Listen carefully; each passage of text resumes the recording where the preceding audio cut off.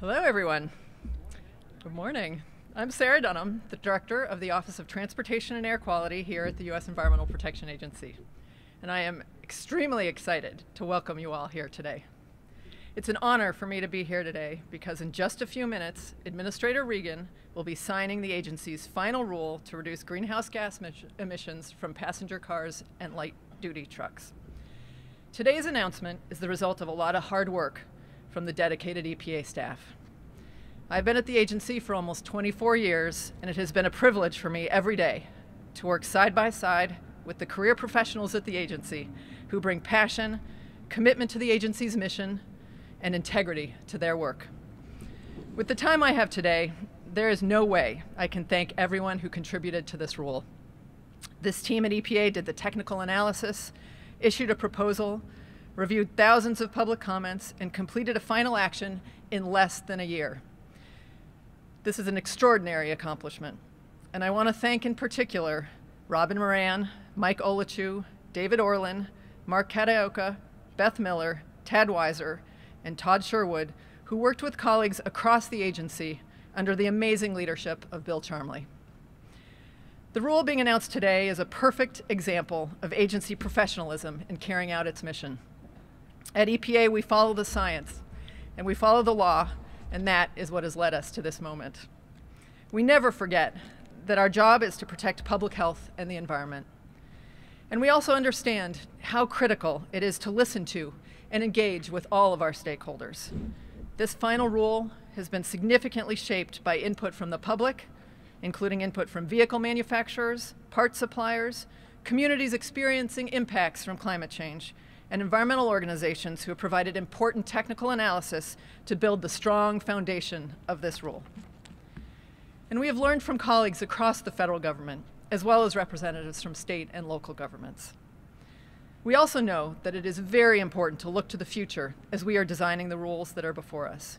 And we are surrounded today by a glimpse of what is possible.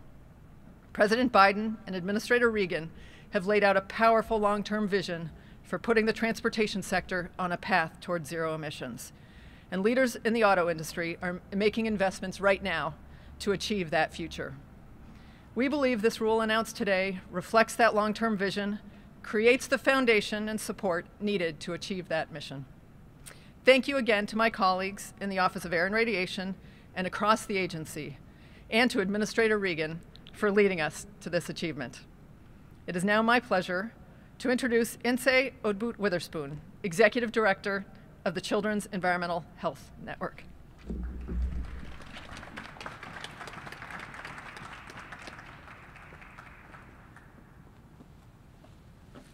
Good morning. Thank you so much. It's a pleasure to be here with all of you and to mark this important rule that will certainly benefit all of us, our children of today and for generations to come, including our most vulnerable and marginalized communities. I'm here wearing a few hats today. One hat is a public health leader and a child health advocate with the Children's Environmental Health Network, where our mission has been the same for close to 30 years to advocate for equitable pr protection of all children, infants, and, and pregnant moms from environmental hazards and promoting all of their collective safety, protection, and well being. We also care very much about women of childbearing age since we know that research abundantly shows that children are impacted by what they're exposed to in their first environment, which is their mom's womb. Another hat that I'm wearing today is as a mom. My husband and I are proud parents to four amazing children, in our humble opinion. Uh, our oldest uh, son, Ajani, is right here joining me today. He's an engineering major at North Carolina A&T. And we talk, and we talk often about he and how his friends and his generation care very much about the climate that they're inheriting and living in, sustainability challenges, and what the future actually holds for them. We talk about these realities often at home and among our community and the need for robust and equitable solutions. This is also very personal for us. Our youngest son, 11 year old Ayan, has suffered from asthma most of his life. I've been the mother taking her first ride in an ambulance with him when his oxygen levels were so poor that the pediatrician would not allow me to drive him himself. We as parents work hard to ensure that our children get all that they want and, and that they thrive to their fullest potential. But when you see your child struggling to breathe, take their next breath, we all become helpless, unable to provide them the security that they deserve. That is a position that no parent or grandparent asks to or should be in. We know that asthma is still the number one chronic illness among children. It is also the leading cause of absenteeism, you know, minus the COVID pandemic these days. If you cannot be healthy enough to be in school to learn, that creates another ripple effect related to a child's educational journey, their ability to focus and remain engaged.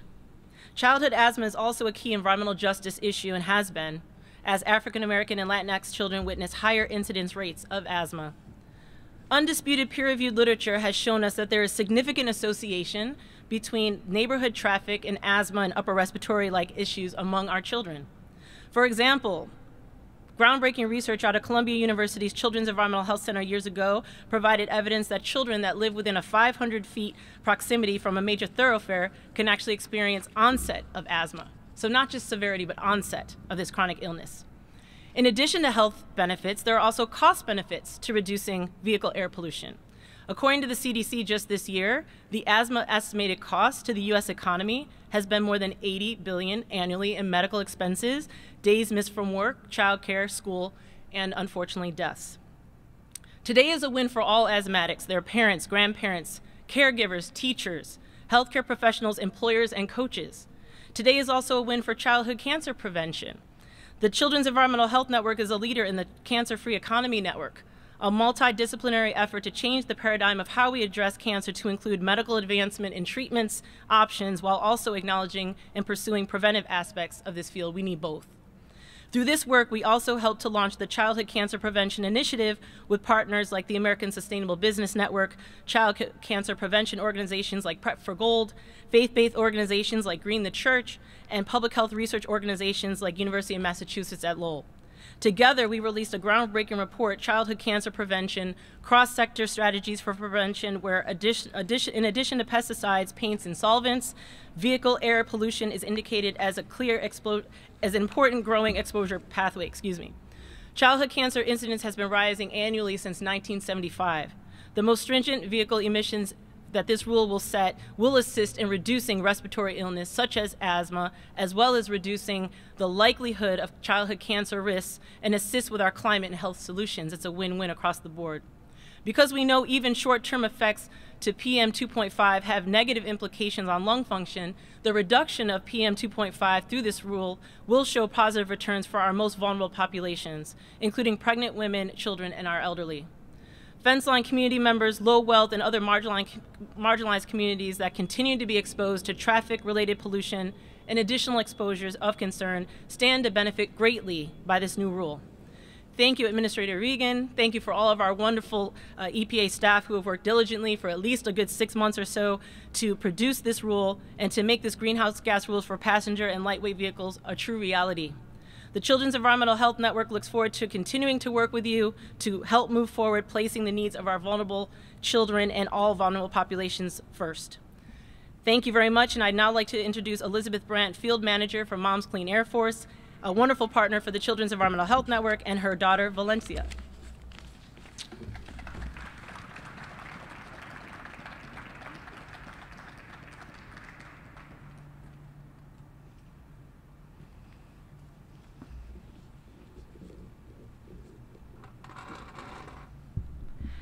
Hi, I'm Elizabeth Brandt, mom to Valencia and Natalia, and a field manager with Moms Clean Air Force. Moms Clean Air Force is an organization of more than 1 million moms, dads, aunties, and grandparents across America taking action on climate change and clean air for the sake of our kids' health. I'm thrilled to be at the EPA today with my daughter, to celebrate the release of this new rule on tailpipe emissions from cars and light-duty trucks. Today, we mark a major step forward in protecting our families from air pollution and climate change. I live with my family in nearby Montgomery County, Maryland.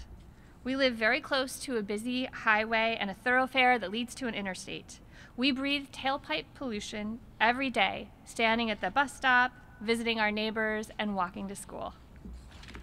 Reducing tailpipe pollution is much needed in my neighborhood and in Maryland at large. According to the latest State of the Air report from the American Lung Association, six Maryland counties receive failing grades for ozone pollution. Only one Maryland county got an A, and sadly, that's not our county. This story is not unique. Lots of America is flunking the clean air test or earning an underachieving C, like my county. Across the country, more than 40% of Americans, over 135 million people, are living in places where the air is unhealthy to breathe. And this burden is not shared equally. People of color are three times more likely to be breathing unhealthy air. Our children deserve better than this. Children like Kolumba, age six, who lives in Phoenix, near heavy traffic pollution. Poor air quality has landed little Kolumba in the hospital more than once. Oscar, age 10, lives near Detroit, Michigan, where his moderate asthma is often triggered by poor air quality children like Joey, age 11, who lives in Nevada. After suffering from COVID, his allergenic asthma became severe asthma, and now he regularly struggles to breathe. Pollution from the nearby highway makes this worse. Isaiah is here. He's from DC. He's an athlete whose coaches have to monitor the air quality daily and sometimes have to cancel practice due to the poor air quality in the district here. And then there's my dear friend Dane, in Seattle. I first met Dane when he was a newborn in the NICU. Dane was born with a genetic condition that makes his health very fragile. Dane has been hospitalized for breathing difficulty more times than I can count. Dane is unable to go outside at all on high pollution days. This rule is arriving just in time for Dane's ninth birthday. I believe that the EPA is giving Dane the very best gift of all. Reducing tailpipe pollution is also good for our climate. Climate change is harming our children, our families, and our communities. From floods to tornadoes, from crushing heat to wildfires. Climate change is an urgent health crisis. We need to reduce the pollution causing climate change, and cars make up a big part of that pollution. Over the past few months, our members have submitted comments and testified in support of the strongest possible tailpipe pollution standards. Together with dozens of partner organizations, our members flooded the docket, submitting more than 200,000 comments urging EPA to finalize ambitious pollution standards for cars. Today, I am so glad to say that the EPA listened to moms that's good news for Kolumba. It's good news for Oscar, Joey, Isaiah, Dane, and my own children, like Valencia, and all children who breathe. It's good news for all the kids whose asthma is made worse by car pollution. For every parent who wants a healthy and stable future for their children. We have a lot more work to do to clean up pollution from cars. But today, we are celebrating a much needed step forward, which has taken into account the input of stakeholders like us. Thank you, Administrator Regan. Keep going. We need you to work on the next model years and to continue the work of cleaning up the air and climate pollution from the transportation sector for the sake of our children's health. This holiday and every day, we know there is no greater gift for our children than clean air and a stable climate. And with that, I would like to hand over the podium to Valencia, my daughter, who is a Rock Creek Forest elementary student. Let's pull over your stool.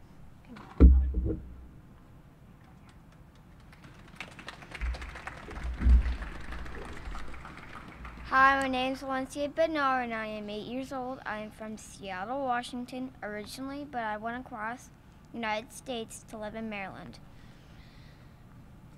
I am joining you today because it is important to me to have a healthy climate and less pollution from cars. Thank you, President Biden, EPA Administrator Regan, and all the people at EPA and across our country who have asked EPA to make cars pollute less. Climate change is a problem for kids like me. I play street hockey and in the summer, it can be really hot. You can't play as well when it's too hot. The summer didn't used to be as hot as it is now. We have really strong rainstorms, and scientists say climate change makes rainstorms worse.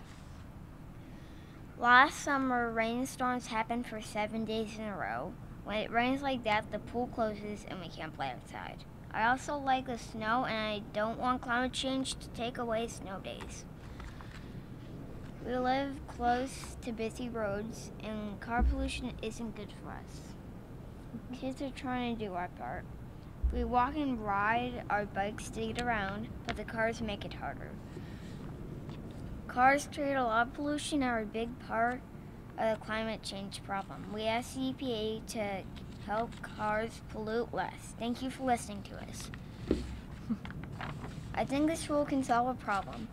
Across America, Latinos like me are exposed to more particle pollution than most Americans. That can cause more health problems. I learned that people of color and people with less money live with more pollution overall. These differences are important to fix so that all people can be healthy. Cleaning up car pollution is one thing we can do, but we need to keep fighting for clean air and a healthy climate. And now I'd like to introduce EPA Administrator Michael Regan. Thank you for listening to us, Administrator Regan.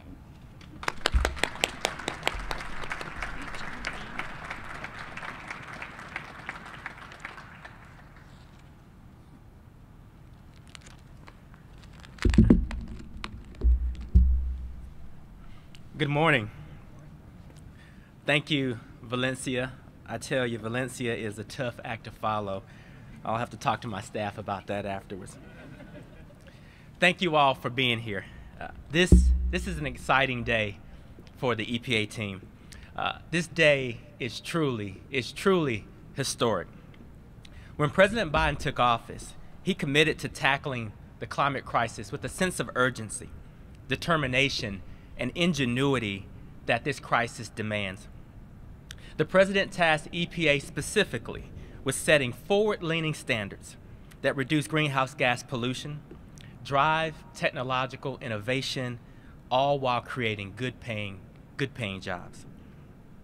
Well, I'm proud to say that we are delivering on our commitment to the President of the United States. We're delivering on our commitment to the American people. We're delivering on our commitment to Valencia by setting the most ambitious vehicle pollution standards for greenhouse gases ever established for passenger cars and light duty trucks. I've said it time and time again.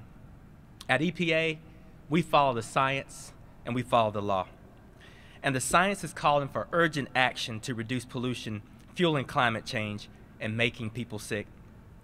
That's why today we're setting robust and rigorous standards that will aggressively reduce pollution, protect people's health, and save families money at the same time. In model year 2026, these standards will be the most ambitious standards in United States history. These standards, which are underpinned by the world-class technical expertise of EPA career staff and grounded in science, show that the standards are achievable, affordable, and will deliver significant pollution reduction. We estimate that through the year 2050, uh, this program will save American drivers up to $420 billion on fuel cost, gas that you won't have to put in the tank. Avoid more than 3 billion tons of greenhouse gas pollution, which is equal to more than half the U.S. total carbon emissions in the year 2019 and provide Americans with as much as $190 billion in net benefits from reduced climate impacts and improved public health.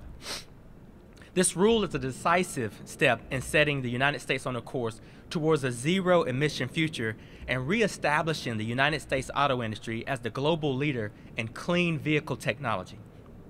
I'm proud, I'm very proud to work in concert with leading automakers who are moving the ball forward on climate action by putting regulations in place that advance the innovation and the ambition that they're demonstrating. EPA's analysis shows that car manufacturers can comply with these standards, increasing the number of electric vehicles entering the fleet and with technologies available right now, available today. We also project the sales of electric and plug-in hybrids will grow from about 7% market share in the year model year 2023 to about 17% in model year 2026. Over the past several months, nearly all major automakers have announced plans to transition their vehicle fleets to zero emissions, with many new electric vehicles launched before 2026. I've had the opportunity to test drive some of these firsthand, and boy, they are fun to drive. I'm really excited that we have a few here today, although it doesn't look like I'm going to be able to test drive any of them. But the entry of so many new EV models over the next few years will put the auto industry in a strong position to meet our historic standards. When I took this role, I asked my team to go further and faster than they've ever gone before to confront the climate crisis. Because I believe that we have a responsibility to Valencia, to my son Matthew, to the next generation. We have a responsibility to communities who are most heavily impacted by climate change. And I'm deeply proud of the team who's worked tirelessly not only on today's car rule, but on all of EPA's historic climate actions over the past 10 months, from setting a framework to phase down and phase down the production and consumption of super pollutant HFCs to crafting an ambitious proposal to slash methane, one of the biggest drivers of climate change. These actions are more than setting standards and targets. In my time as administrator, I've met with frontline communities who are sick and tired of watching the floodwaters rise and the sewage seep into their basements. I've spent time with farmers whose livelihoods have been severely impacted by pro prolonged periods of drought. I've spoken with young people who are deeply worried about the world that they will inherit and who are begging us to act while we still have time. Nelson Mandela said, each of us as citizens has a role to play in creating a better world for all of our children. That's especially true for those of us in positions of power and influence. That's why these actions matter. Because what we're really talking about is protecting the people we love, creating a healthier future for all of our children, and fundamentally changing people's lives for the better. That's our number one objective today and every day, and that's what we're doing with this final rule. So thank you all for the partnership. Thank you all for the steadfast leadership. And thank you all for being here today. And with that, I'll take a few questions from the press.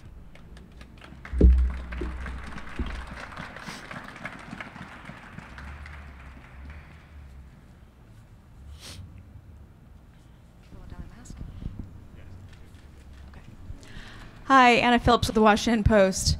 Um, I was hoping you could address Build Back Better and how, without the tax credits and incentives in that bill, will you still be able to achieve the 17% EV uh, market penetration by 2026?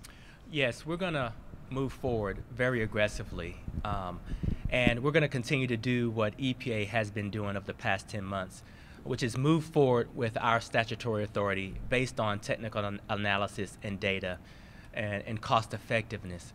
Uh, we're going to follow the president's lead. Uh, he's done a wonderful job delivering for the American people with the American Rescue Plan.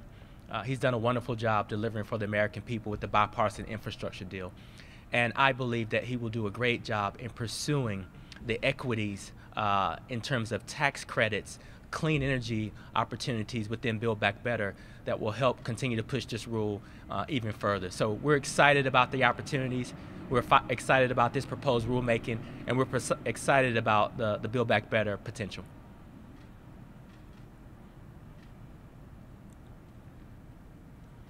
Hi, it's uh, Tim Puko at the Wall Street Journal. Thank you so much for doing this. Um, if I could just follow up on the last question.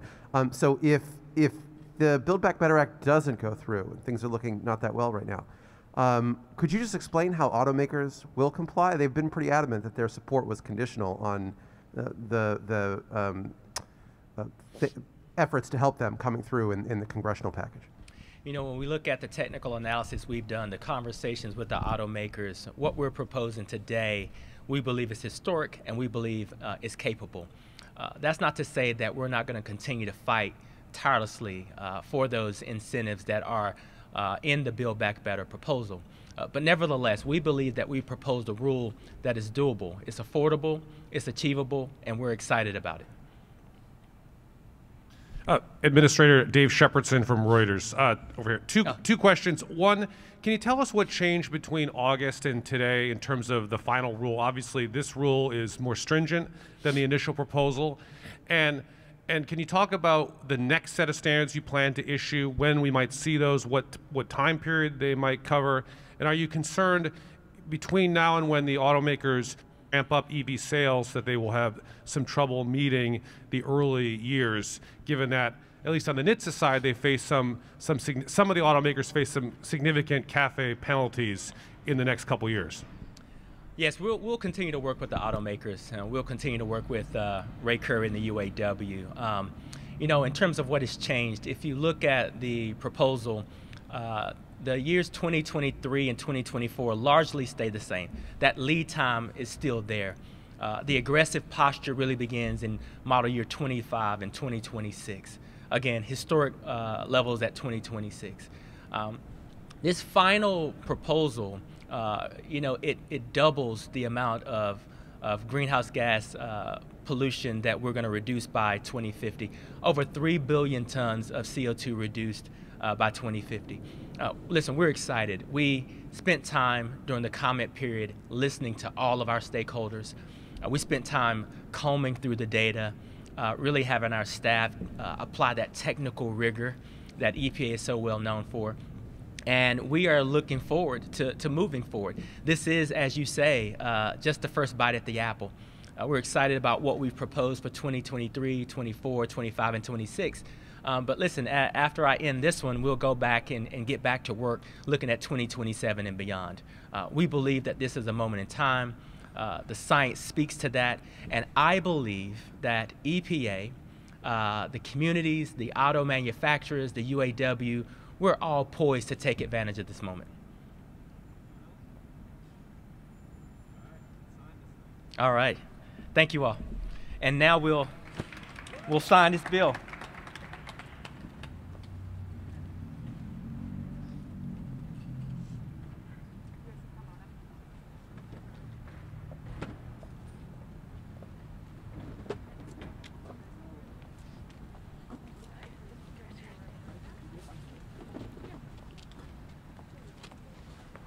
Come on up, Vivi. Thank you so much.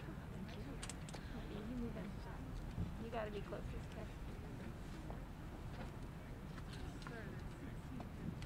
Okay.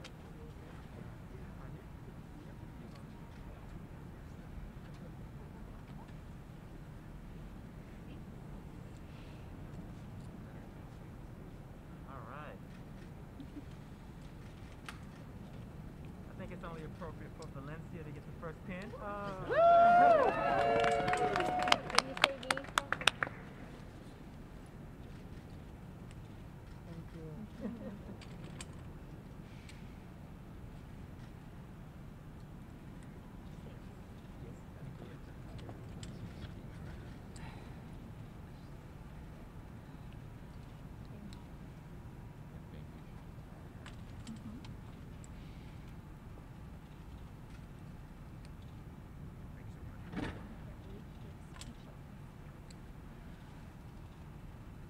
Who am I missing back here?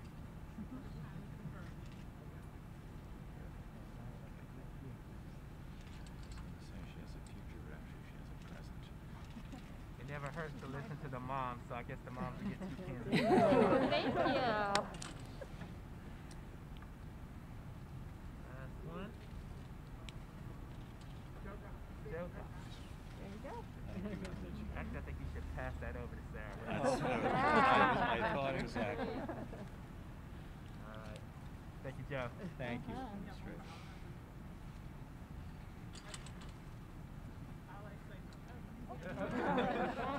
He's back there hiding. All right, thank you.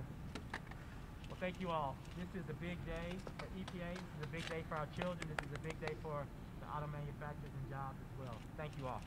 Thank you. No, all of us. It's fantastic. Long time coming. It's an honor to be here.